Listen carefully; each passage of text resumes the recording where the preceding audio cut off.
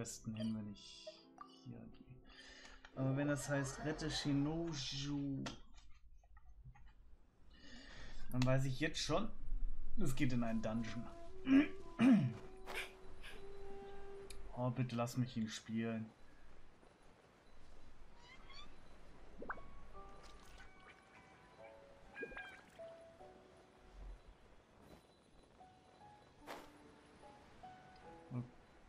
Okay, sieht nicht aus, als wäre ich im Dungeon.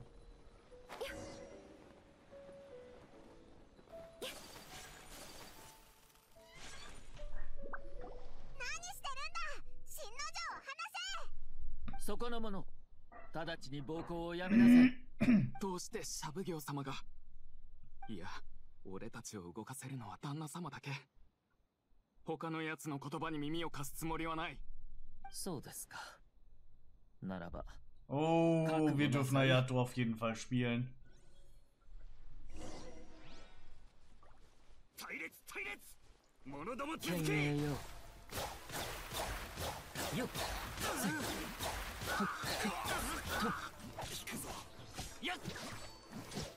Ich muss mal was gucken. Ups. Und zwar, was kann Ayato eigentlich? Alter, allein die Waffe ist geil, ne? Oh, die Waffe hätte ich auch schon gern. Aber man kann nicht alles haben.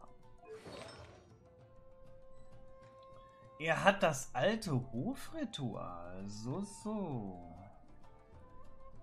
Kann man sehen, was der hat. 52% da. 41%.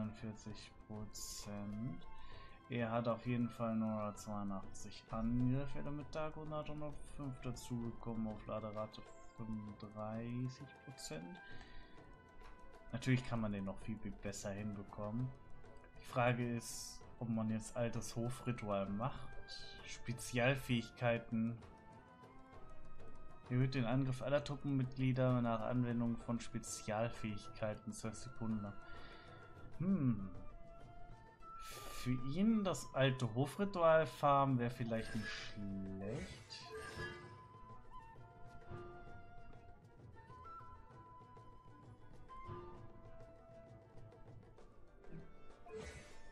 Ah, Ich habe mir seine Talente noch nicht angesehen.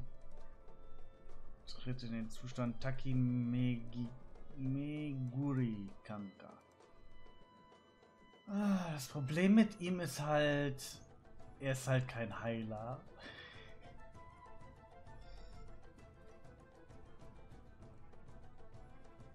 Es kann nicht von anderen äh, Elementen überdeckt werden. Das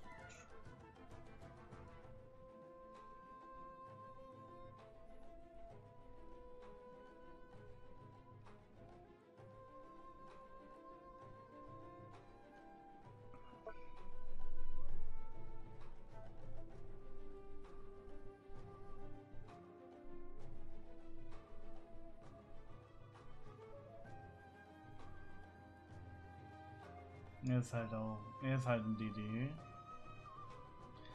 Ich will ein Team mit ihm und Ayaka bauen, wenn ich ihn habe, aber. Noch haben wir ihn nicht. Er macht auch guten Schaden, also.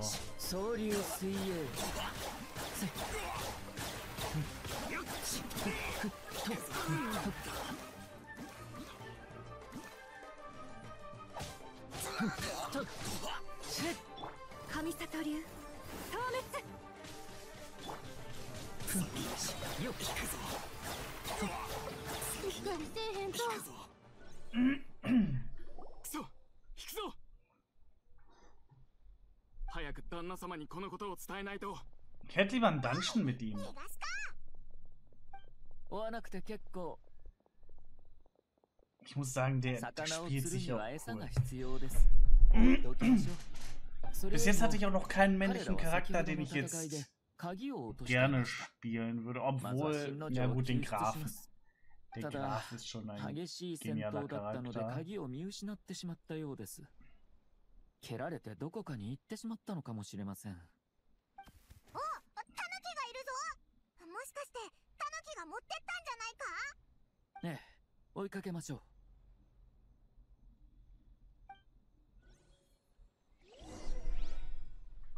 Tanuki?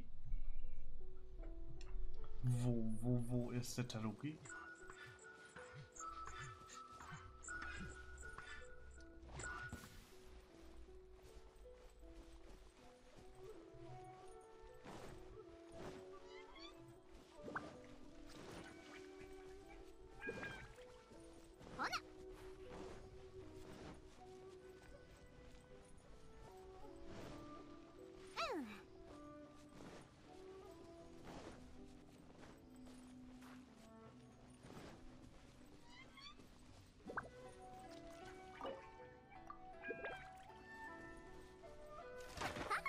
Okay.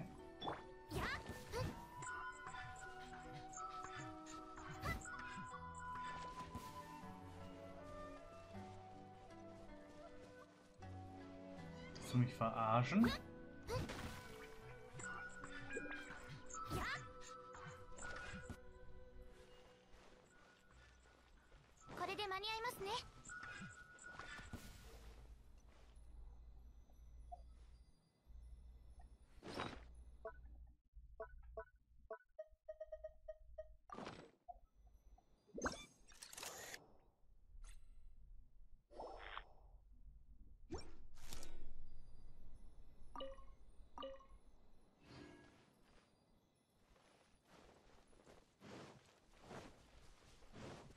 Schlüssel halten? Nee.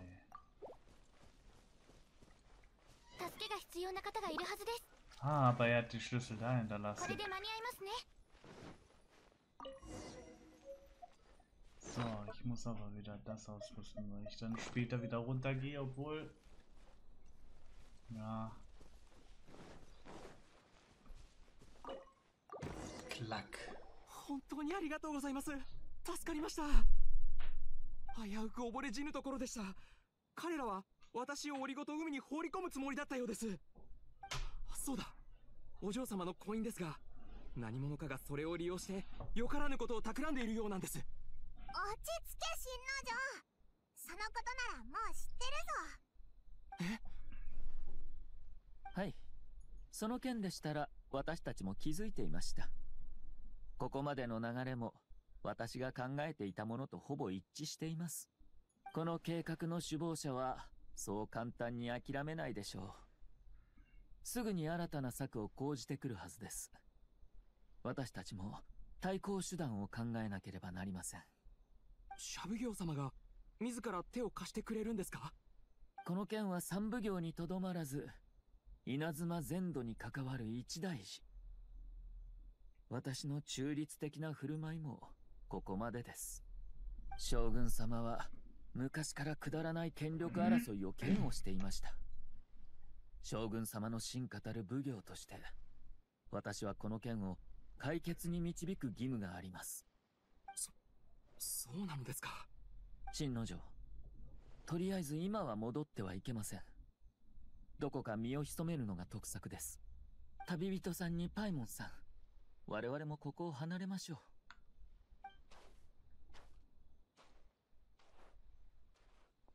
おや、これはこれは、シャブ業様ではありませんか。あなたが理由もなくここに現れ、私の部下に怪我を負わせたと聞きましたが、まさか、何か企んでいらっしゃるのでしょうか。いえ死刑が行われていると小耳に挟んだものでして。責任ある稲妻の後人として見過ごすわけにはいかなかったのです。たとえ新之丞があなたの家臣であっても好き勝手にできるという法はありません死刑？死刑だなんてとんでもない。これはただのお仕置きですよ。あの雑牌、どういうわけかお嬢様のもとへ行き、自分勝手で失礼なことを口走ったのです。身の程知らずも甚だしい。そのせいでお嬢様はひどく怯えていらっしゃる。つまり彼がそのような行動をとった理由をあなたはわからないのですねそうでなければどういうわけかなんて言い方はしないはずですこちらはあらぬことをいろいろと吹き込まれたのです。わけがわからないのも当然でしょう。両家の婚姻は実にめでたいことですが、あの小賢しい男のせいでことが複雑になってしまいました柊様が九条家へ嫁いだとしても柊家のお嬢様であることに違いはありません。勘定奉行で最も地位あるお方のままです。もちろん私たちも精神誠意を尽くして彼女に仕え孝行の憂いを立つのにお力添えします。責務を果たすのが我々の原則。それを守るどころかあの男はお嬢様の心を乱した。彼は情熱的な男であったがゆえに過ちを犯したのでしょう。しかしあなたのように高貴なお方であれば同じ結論には至らないはず。くっそ理屈ばっかこねやがって。ムカつくな。そういえばふと思い出した話があります。シャブ業について以来私は毎日のように興味深いものを見聞きしてきましたある外国の商人から聞いた話によるととても長い舌を持つ鳥がいるそうなんです。その舌を口の外へ引っ張り出すと結び目を2つも作れるほど長いとか。あなたも博識なお方。そのような希少な鳥が普段どういった目的で使われるか当てられるのではないでしょうか？はえー、っと鑑賞用の愛玩動物ですか？この鳥の面白いところは飼うことができず何の役にも立たないところでして仮に捕まえたとしても舌を切って窓から放り捨てるしかありませんなぜなら皆口を揃えてこう言うのです。舌が長く、へりくつばかりこねて騒いだ挙句、すべてはったりであったと。な、シャブ業様ともあろう方が、我々勘定奉行を揶揄するためにここまで来られたのですか？いえ、とんでもありません。勘定奉行の皆様はいつも実直で、自身の責務を果たす善良な方々だと思っています。まさか、あなたのような方が人を煙に巻いたり、重箱の隅をつついたりするとは思いもしませんでした。その上、柊様を勘定奉行から引きずり下ろそうと画策するとは。シャ奉行様、その発言に証拠はあるのですか？目の前に証人がいるではありませんか。あなたは、彼が確信をついたのを知って、慌てて口封じをしようとしましたね。おや、松浦家は名家だというのに、忠誠心は進化である彼に遠く及ばないようです。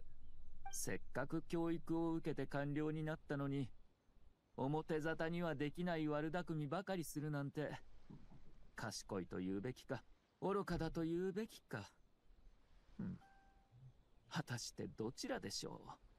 将軍様のために働いてきたあなたは、周りの優秀な人々からちっとも学ばず、利益に目がくらみ、自らの前途を絶ってしまった。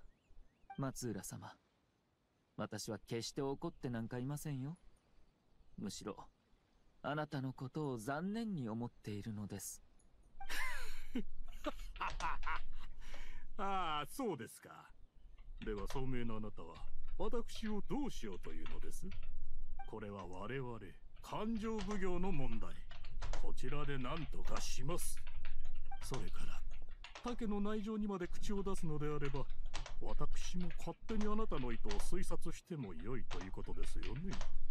あなたはただ勘定奉行と天領奉行の力が一箇所に集中することを避けたいだけ。もしそうなれば奉行間の均衡が取れなくなり社奉行の地位が脅かされてしまうからです。だからもっともらしい理由を見つけて、この婚姻をなかったものにしようと企んでいるのでは？おや、あなたの目にはそのように映っていたのですね。さすがと言うべきでしょうか。賛成力に関する利害の配慮は、私よりもはるかに優れているようです。ふん。婚礼は必ず行います。どのような手を使おうとも止めることはできません。今頃は布告もされ、稲妻でその瓦版が飛び交っているでしょう。九条鎌地と柊千里が恋仲であったことは世間に知られていませんでした。ですが今はもう各地で話題となっているはず。これが布告された時点でたとえ婚姻がまだであってもあとは時間の問題です。うん。なるほど。やはり私の考えが足りていませんでしたか。はあ。ようやくそれを思い知ったのですか本当はあなたのことをそこらの人々よりは賢いと思っていたのですが全く残念です。神里綾人！きき貴様！もう言いたいことは終わりのようなのでそろそろ私もよろしいでしょうか。何が言いたい？婚姻を結ぶことで勘定奉行と天領奉行が一つになれると本気でお思いですか？実際孤立するのは勘定奉行の方かもしれませんよ。何？さてあなたとは大変有意義なお話ができましたのでこれで失礼します。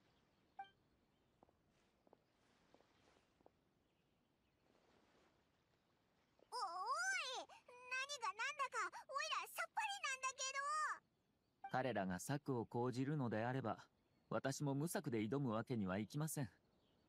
予想していた通り彼らは前に出て牙を見せてくれました。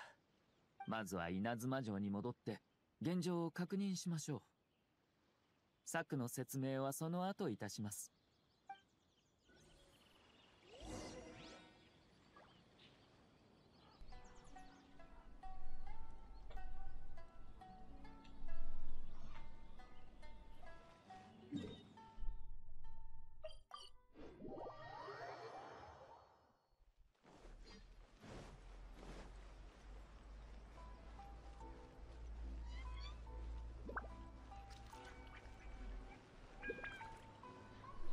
これ見て。勘定奉行の柊お嬢様と天領奉行の九条鎌地様が結婚するみたいよ。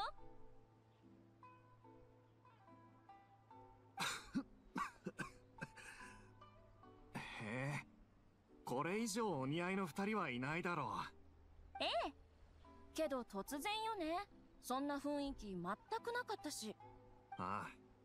でもこの一歩を踏み出すのはそう簡単なことではなかったはずだ二人の門出を祝おう。結婚式が行われるのはもう間違いないみたいだな。結論を出すのは早計です。向こうはこの勢いに乗じて婚姻を推し進めるつもりなのでしょう。ならばこちらは相手の計略の裏をかけばいい。ただそれも九条鎌地の協力あっての話。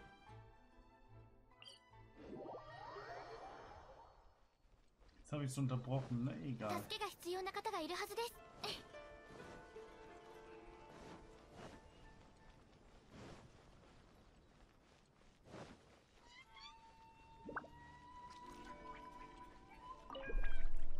皆様いいところにお越しくださいました 実は僕も今しがた耳にしたばかりなのですがどういうわけか僕と千里さんの婚姻が公表されたようなんですどうしてこんなにも急な発表がされたのでしょう。僕はまだ心の準備が。それなんだけど実はすっごく複雑なことになってて。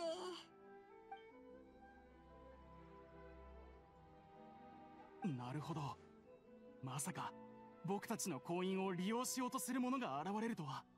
このまま婚姻を進めた場合あなたに影響はさほどありません。しかし柊様の方には何かしらあると考えた方がいいでしょう。僕もその可能性を考慮していなかったわけではありません。ただ彼女と結ばれたいという思いの方が勝ってしまったのです。だから千里さんを守るためなら何でもするとそう彼女に約束をしました。ええ。お気持ちはお察しします。ただ失礼ながら彼女はそもそもあなたの庇護を必要としていなかったのではないでしょうか。考えてもみてください。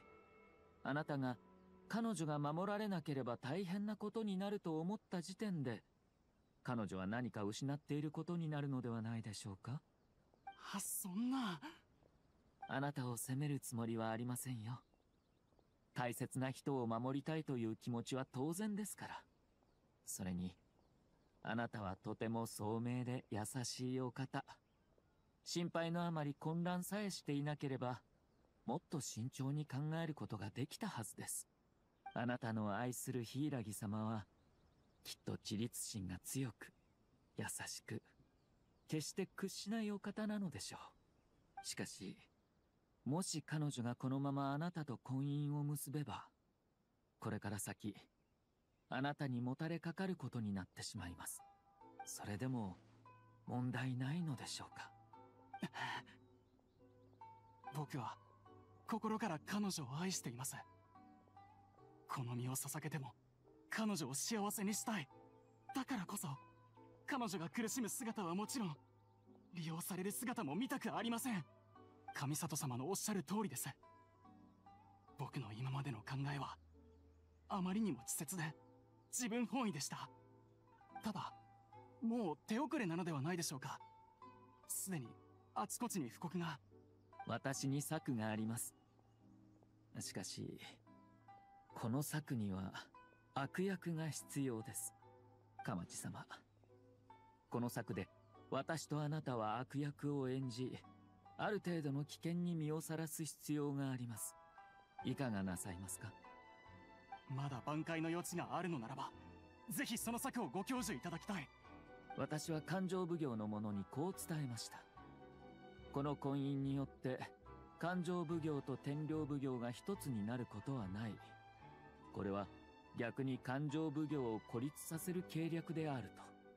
この計略で柊家の力を弱めるには、ある条件が必要です。それは、天領奉行が婚姻について何も思わないこと。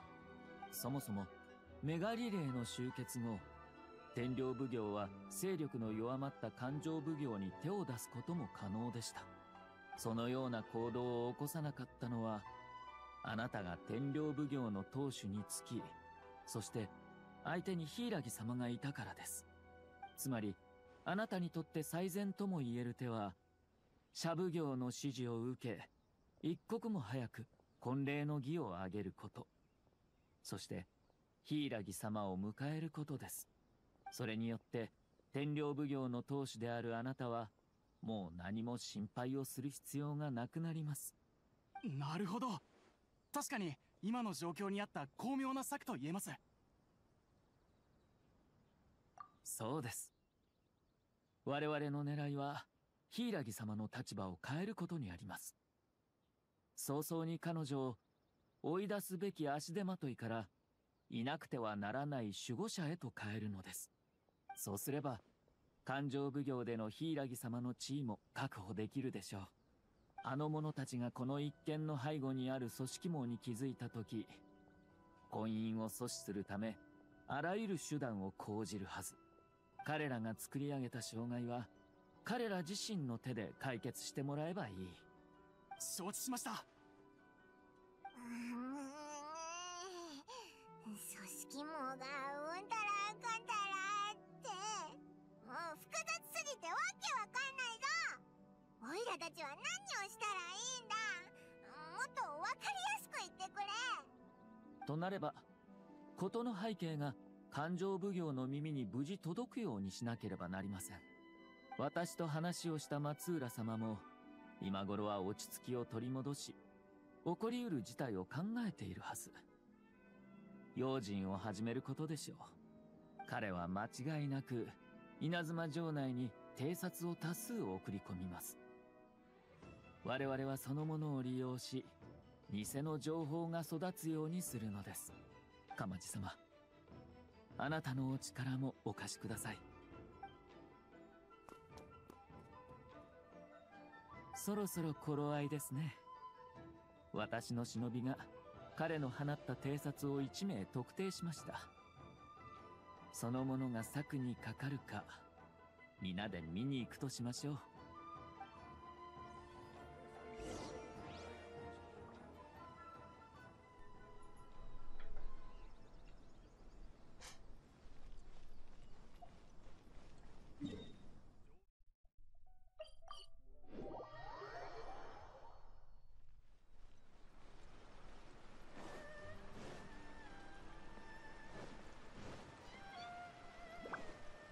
schade finde, die Missionen bestehen 助けが必要 hauptsächlich な方がいるはずです aus Story. Mit wenig Kämpfen. あの者が松浦家の偵察です気づかれないよう彼の後をつけましょう Ja, aber jetzt machen sie mal was Interessantes. Jetzt müssen wir.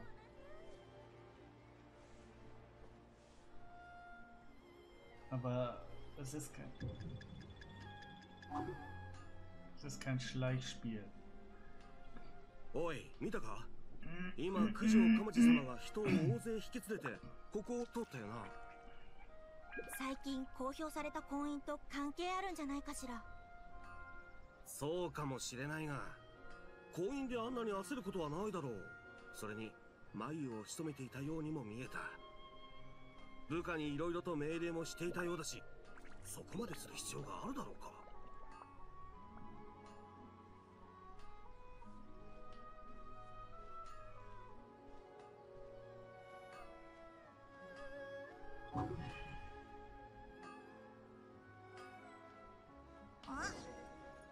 Ich hab den doch noch gesehen, hallo?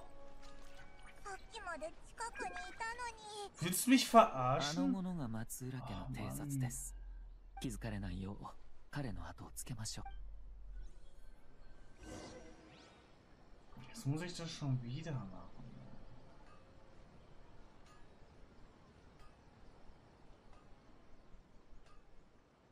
おい見たか今九条鎌地様が人を大勢引き連れて ここを通ったよな最近公表された婚姻と関係あるんじゃないかしら will doch nicht hinter dem sein. Solche Missionen 婚 sind 姻 dann であん doch なに wieder 焦ることは irgendwie ないだろ so. うそれに眉を潜めていたようにも見えた部下に色々と命令もしていたようだしそこまでする必要があるだろうか!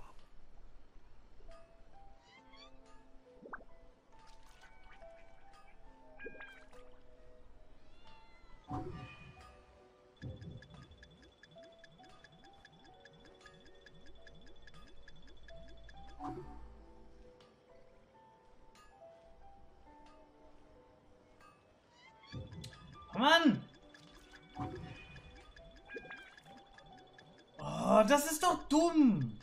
Ich darf nicht zu weit weg, dann ist er weg, ne?「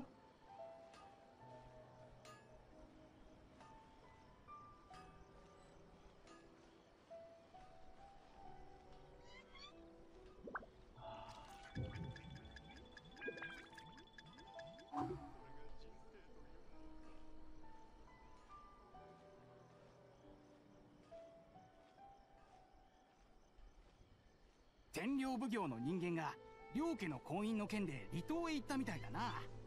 しかもかなりの人を引き連れていた。全部で100人は超えてたんじゃないか。どうもきな臭いな。面倒なことが起きたりしないだか.九条鎌地様が単に心配性なだけであればいいが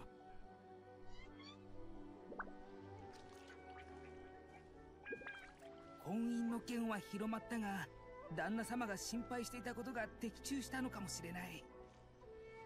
神父を迎えるだけであればあんなにも人はいらないはず。状況を確認しなければ。あいつどっか行ったみたいだぞ。予想通りです。うわあ天領奉行の人がこんなにたくさん。あのこの通りで何か起きたのでしょうか？僕は商人なのですが気づいたらこのような厳重な警備が敷かれていたもので少し怖くなりましていえ、ご心配なく。すでにご存知かと思いますが、九条鎌地様と柊千里様が近々婚姻を結ばれます。そこで九条様は、柊様を予定より早く稲妻城へお迎えするつもりなんです。そんなことが ここにいる皆は、柊様のためにその道を守っています。我々だけでなく、この先にも天領奉行の者が大勢待ち構えており、その全員が同じ任務を背負った者たちです。その僕が言うのもあれですがいくらなんでも張り切りすぎなのではいえ、こうすることで、九条様が柊様を重要視していると世間に見せつけているんですよ 九条様は最初から最後までこのように格式高い扱いを続けようとされています。そそうだったのですね。あすみません。お騒がせしました。な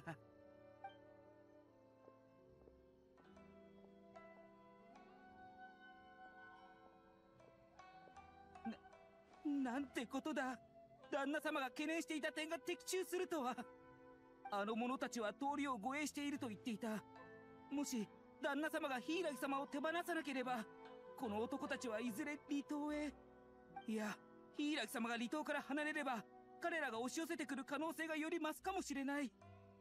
天領奉行を相手に今の旦那様では勝てる見込みなどないだろう。すぐに戻って報告しないと。あいつ逃げてったぞ。これで仕掛けは十分膨れ上がる疑心暗鬼は恐怖を育てる養分となるでしょう。あとはそれが成長し熟すのを待つだけです。嵐の前の静けさこそ最も不安を煽るものですからね。あいつらおとなしく過ちを認めるかな？気になるのであれば2日後また離島へ来て柊家の状況を確認するといいでしょう私は他にも色々と公務があるのでひとまずここで身を引くとします。駒はすでに動きました。彼らが投稿するのも時間の問題でしょう。ええ。このような手を使うのは何も初めてではありませんからね。では皆さんまたお会いしましょう。柊千里が幸せになることを心から願っています。言っちゃったぞ。本当にあいつの予想通りになるのかな？おうおいらも同感だ。2日後また離島に来てみようぜ。